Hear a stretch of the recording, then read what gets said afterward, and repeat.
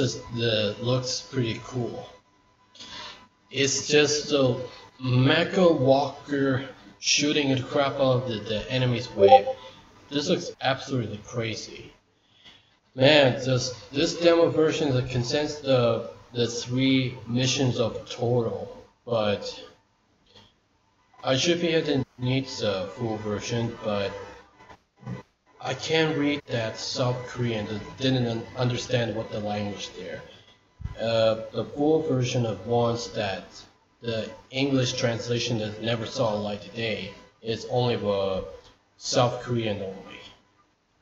But I couldn't I couldn't have to read the South Korean the entire the entirely the Full Metal Jacket one and two. So yeah, this this game kind of pretty pretty fun. So that was actually cool, but it's kind of the graphic scenes like the Super Nintendo, PlayStations, and uh, everything's a top down to side scrolling here. So it's accepted as it came out in the nowhere as all over again. So it's a Mecha Warriors that as much as ever that the Japanese anime mecha style. As I believe it after saying this just really of course the full metal jacket was I wish the South Koreans would do something about the put the English translation in here but this game is still like the brighter days is still or actually it's just gonna switch into Full Metal Jacket 2, the full version that came out now. But I have to say, heading on to the reset this with the DOS box.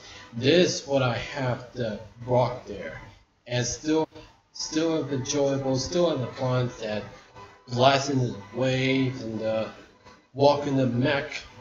Anything to do with control this. Simply, this was, this was an absolutely pretty awesome. As as a looks looks amazing. This that would be this very awesome.